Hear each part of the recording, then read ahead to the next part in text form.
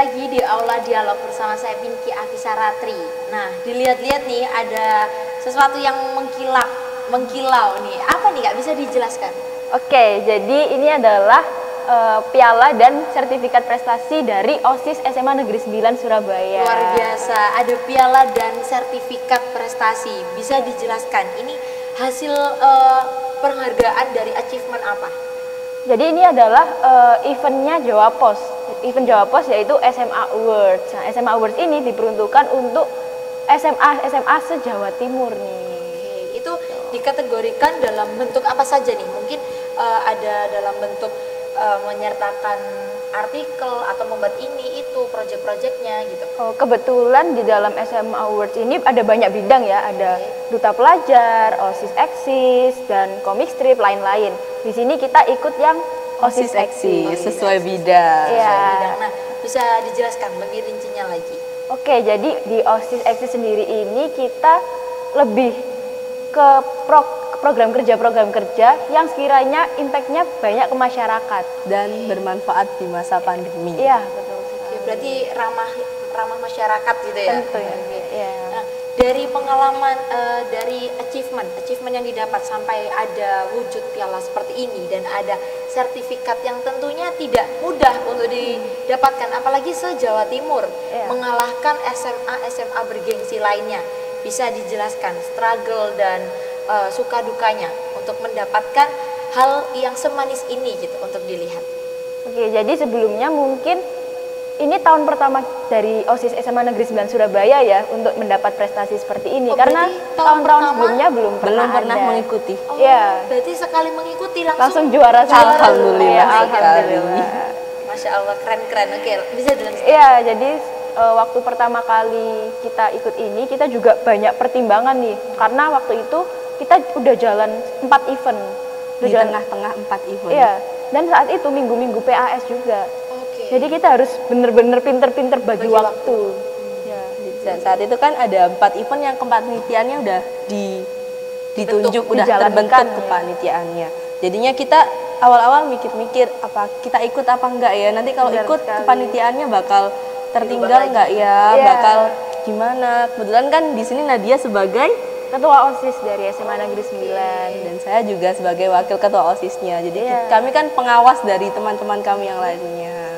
Jadi namun dari kami memutuskan ayo buat inovasi, ayo yeah. buat di angkatan kita bisa lebih baik daripada angkatan sebelumnya yeah. sesuai visi misi kita waktu dulu waktu berdebat calon dan wakil ketua OSIS. Ya, yang membuat harum nama sekolah baik di luar maupun di dalam lingkungan ya. sekolah. Jadi ini adalah contoh pengamalannya di luar sekolah itu seperti berarti apa? Sudah terwujudkan. Jadi tidak hanya janji, tapi ya. juga ada bukti. Betul. Oke, seperti itu. Luar biasa. Berarti di tengah-tengah empat struggle itu tadi, tapi berhasil menghasilkan penghargaan yang baru saja diikuti, tapi iya. langsung ya. juara. Ya. Luar biasa. Oke, uh, apakah ada pencapaian lain selain ini dalam bidang mungkin uh, dalam bidang osis uh, proker yang lain atau bagaimana? Kalau itu karena kita masih berjalan sekitar beberapa bulan, jadi ini baru yang pertama. Kita juga nggak tahu mungkin yang selanjut selanjutnya akan lebih berprestasi dari ini. Setidaknya kita ada patokan nih tahun ini, ada patokan. Wah kita menang osis eksis Jawa Timur, seharusnya selanjutnya bisa lebih baik, baik. lagi. Oke, nah karena tentunya untuk mendapatkan hasil yang semanis ini itu kan pasti tidak mudah. Nah, yeah. mungkin bisa diceritakan pengalamannya mulai dari perjalanannya harus membuat apa, mengikuti apa, apa gitu. Uh, waktu itu mungkin karena lagi PAS ya, jadi kita perlu bagi waktu juga uh, perlu banyak apa ya, lebih mengeksplor. Iya, lebih keluar banyak tenaga lah okay. dibanding teman-teman yang lainnya gitu. Jadi ini kan kerjasama uh, organisasi osis itu tadi yeah, untuk mendapatkan hasil ini. Uh. Berarti uh, effort dan uh, usahanya itu nggak sia-sia untuk mendapatkan yeah. ini semua. Saat itu tuh ada lima orang kak yang terpilih. Oh, Jadi okay. dari perwakilan inti osis ya mungkin yang bisa mewakilkan. Sedangkan inti-inti osis ini sendiri kan di event juga berperan penting kan okay. di dalam event sendiri. Tapi namun dari kami udah beritikat kita bisa akhirnya kita dari awal kayak membuat video video profil dari kita lalu kita membuat program-program baru yang lebih inovatif Iya, lagi. editing editing seperti itu Berarti memang tidak hanya sekedar langsung ujuk-ujuk ada hasilnya gitu ya. Ah, Berarti tidak, Iya, itu iya. sa- kita begadang berapa malam itu Waduh, untuk iya. ini itu. tidak tidak mengikutkan semua anggota tetapi dipilih untuk siapa tim intinya dan siapa yang Iya. bisa Iya. membantu seperti Benar, itu. benar sekali. Kan tadi sempat eh, ada struggle di waktu masa PAS. Iya. Itu kan ulangan yang menghasilkan nilai rapat kan juga penting untuk ke perguruan tinggi selanjutnya. Iya. Itu bagaimana kok bisa kok bisa menghasilkan hasil seperti ini tapi juga PAS-nya berjalan?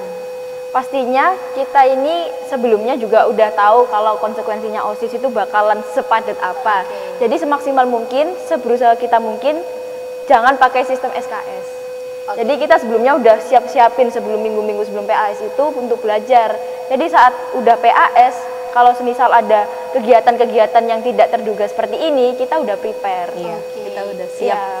Berarti memang berarti memang eh, sudah dipikirkan matang-matang apalagi resiko menjadi OSIS Ya. itu kan memang harus bisa bagi waktu, disiplin dan bertanggung jawab. Benar gitu sekali, ya. ya. Nah, eh, bagaimana respon sekolah setelah mengerti kakak-kakaknya ini berhasil mendapatkan hasil yang baru saja dicoba, baru saja diikuti tapi menghasilkan kari menghasilkan achievement yang luar biasa, mengharumkan nama sekolah dan dilihat oleh orang banyak tentunya.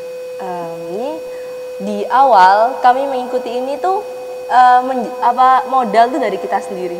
Jadi kita tuh kayak memberitahu tuh hanya seperti ke pembina dan kesiswaan saja.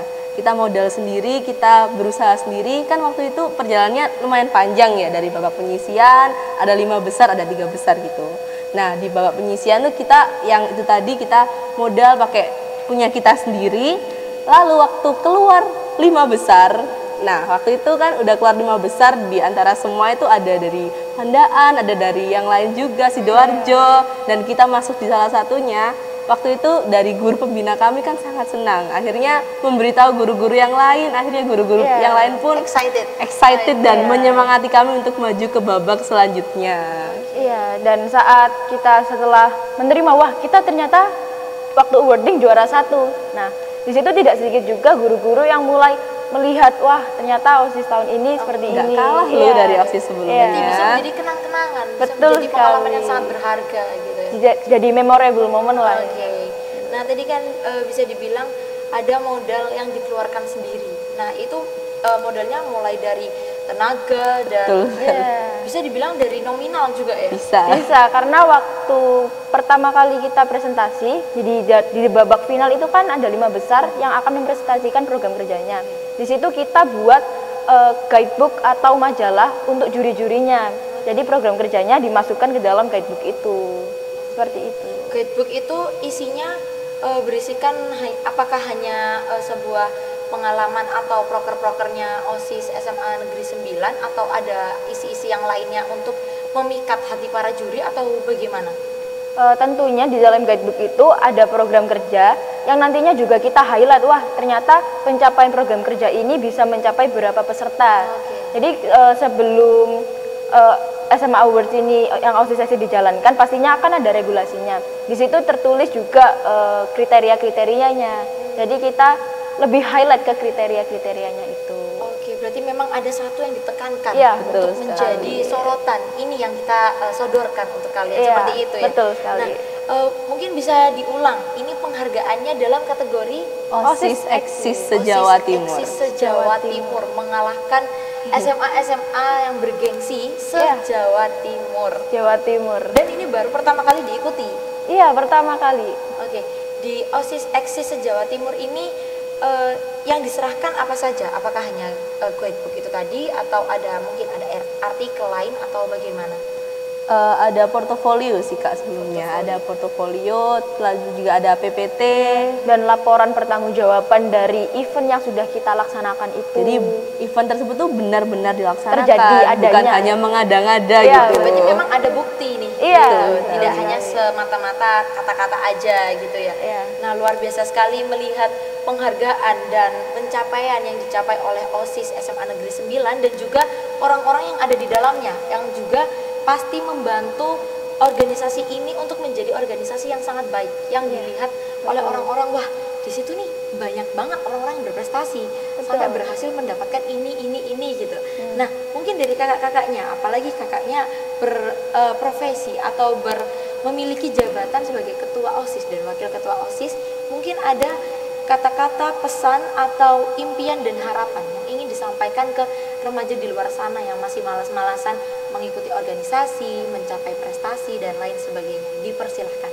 Kalau dari saya sendiri untuk remaja di luar sana, apalagi ini kan khususnya lagi pandemi ya. Iya. Karena pandemi ini banyak banget uh, lingkungan di sekitar saya, teman-teman saya mungkin yang agak malas-malasan, udah nggak mau aktif lagi. Jadi dampak negatif. Iya, bisa jadi. Nah di situ uh, pesan saya uh, cari pengalaman sebanyak-banyaknya. Jadi kita juga harus bisa uh, bagi waktu, gimana uh, waktunya santai-santai, di mana waktunya kita harus uh, meraih masa depan kita seperti itu. Mungkin dari kakak uh, wakil ketua osis. Ya, kalau dari saya tuh ya manfaatin waktu sebaik-baiknya karena masa SMA atau SMK kita tuh hanya satu kali. Oke, Jadi kita iya ikuti organisasi kalau di masa pandemi ini mungkin sedikit mager, ayo kita harus tetap produktif. Harus mendorong diri Iya. sendiri untuk terus maju meskipun uh, dalam situasi seperti ini gitu ya. Ya, terus kita kan juga berorganisasi ini juga nggak selalu bawa hal negatif loh. Kita juga bisa mendapat prestasi dalam hal itu sendiri. Nah, prestasinya bisa untuk diri sendiri dan juga untuk lingkungan sekitar. Betul. Yang membawa nama baik diri sendiri tentunya kan. Oke. Nah, kalau dilihat itu dari prestasi dan pencapaian yang dicapai oleh OSIS SMA Negeri 9 Surabaya dan juga organisasi yang ada di dalamnya itu membuktikan bahwa masa pandemi seperti ini itu tidak menghalangi kita untuk tetap terus berprestasi Betul dan meraih hal-hal yang bermanfaat. Ya, benar seperti itu ya. Betul. Nah, dari pesan-pesan yang disampaikan oleh kakak-kakaknya tadi bisa kita ambil hikmahnya dan bisa kita renungi dan kita bikin eh, apa? Kita jadikan reminder untuk diri kita sendiri bahwa prestasi dan pengalaman itu masih bisa dicari di mana pun, dalam kondisi apa pun, situasi bagaimanapun, asal dari diri sendiri dan juga harus dilihat kalau ini tuh penting untuk masa depan kita. Ya. Jangan semata-mata eh, berleha-leha terus nanti ke depannya bingung harus melakukan apa gitu. Nah, pertemuan kali ini sangat bermanfaat dan luar biasa sekali karena kita bisa berinteraksi dengan orang-orang hebat dari SMA Negeri 9 Surabaya yang membawa nama baik, nama harum kota Surabaya dan tentunya tidak eh, tidak hanya eh, tidak hanya pengalaman suka-suka saja yang mereka dapatkan, tentu banyak struggle, pengalaman dan juga eh, lika-liku yang mereka dapatkan. Itu bisa menjadi contoh dan menjadi reminder untuk kita semua untuk eh, meraih lebih maju ke depannya. Mungkin apabila ada salah kata yang saya ucapkan, mohon dimaafkan. Ya, Terima kasih sudah juga. Menyempatkan juga. Kami juga. Terima kasih sudah menyempatkan hadir di sini. Semoga eh, OSIS SMA Negeri 9 Surabaya ke depannya lebih maju. dan Amin. Menghasilkan banyak penghargaan yang luar biasa. Mengharumkan nama sekolah sesuai visi dan misinya tadi. Oke, sekian dari saya, Pinka Absaratri dan para kru pamit undur diri. Terima kasih. Wassalamualaikum warahmatullahi wabarakatuh.